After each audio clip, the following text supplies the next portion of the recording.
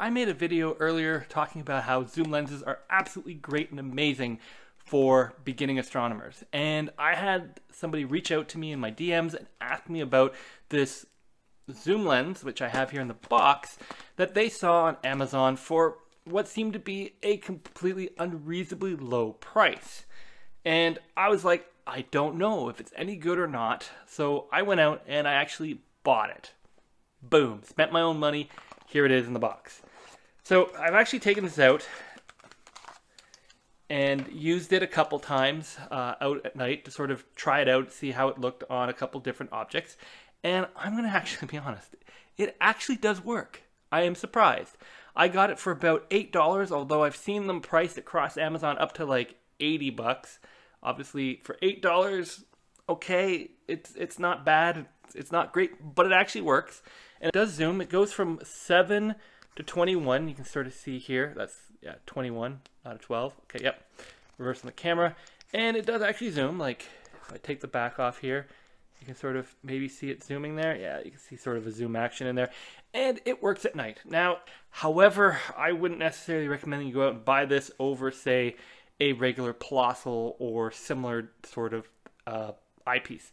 It it works. Like I will say, it works. Like it works. So this eyepiece works, but that's about as far as I'm going to throw it in terms of like how well it works, it's definitely not designed with like 99.99% coatings, other stuff like that, that are designed to basically ensure as much light can go through it as possible. For that, you kind of have to go and buy something like this. And you can see just a size difference.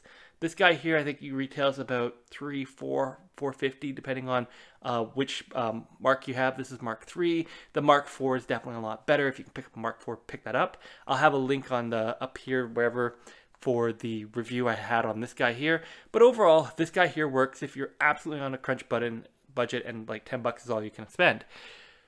But it's not going to have like the really good coatings, etc. So you are taking a light loss.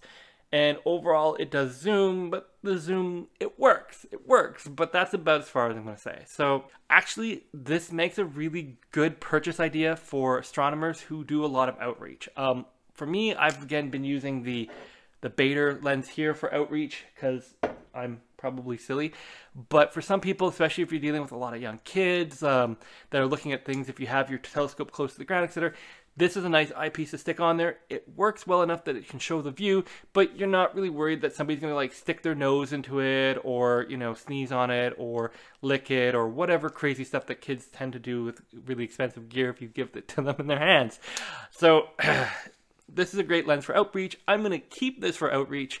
Um, and I'm probably going to use this for when I'm doing outreach, uh, especially at the beginning of the night when you have a lot of younger kids, and then switch to the Baader once the older crowd comes in so that they're able to get that slightly better view, but they'll appreciate it a little bit more than kids that are just trying to learn how to look through the eyepiece because this eyepiece is actually pretty easy to look through. So that is one plus about it is that it, is a big eyepiece. If you are actually interested in buying this little telescope eyepiece because you want to use it for outreach or maybe your budget is, you know, you got 10 bucks and you don't mind spending it, I will link below where I can find it for about $10.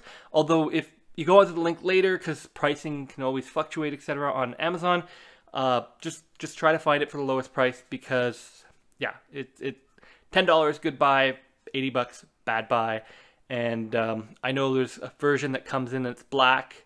It's essentially the same thing, it's just black instead of silver.